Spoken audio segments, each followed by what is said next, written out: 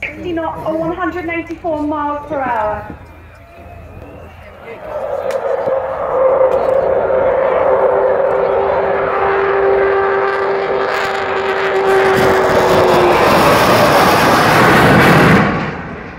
Accelerating to 300 knots at 345 miles per hour. She's braking for a 270 degree turn on the B axis and then she's going to spiral climb.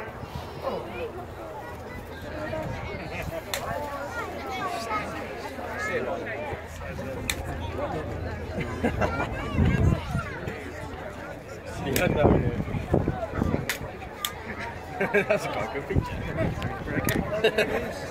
oh, it's. I've got that on video. Oh, no, I can see it through the camera.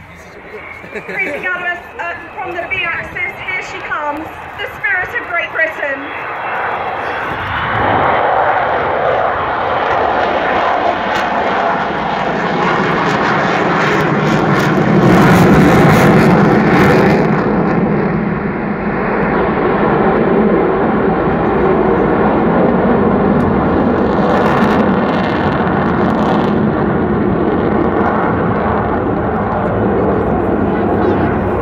Making a spiral climb at 90% of her power capacity.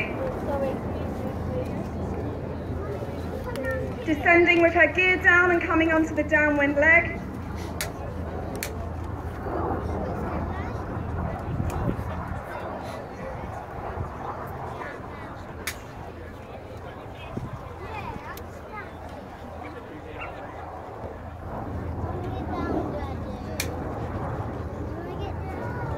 This aircraft, the XH558, is 55 years old and she's been flying eight years since her restoration.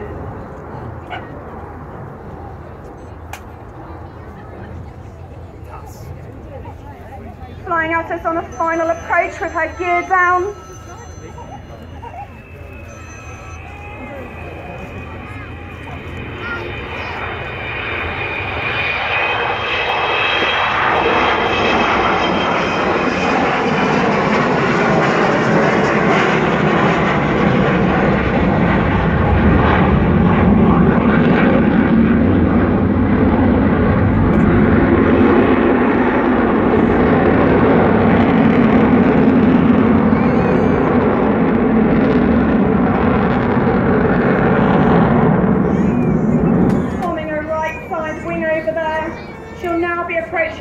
The Bombay Open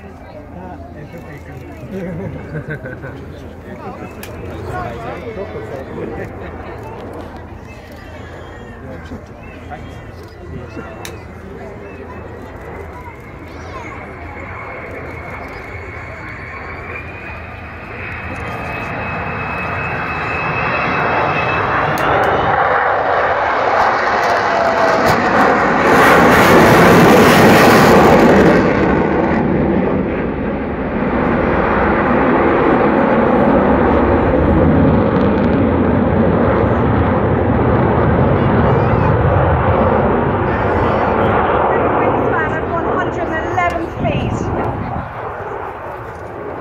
She weighs 96 tons. Her maximum speed is 640 miles per hour with a flight ceiling of 65,000 feet.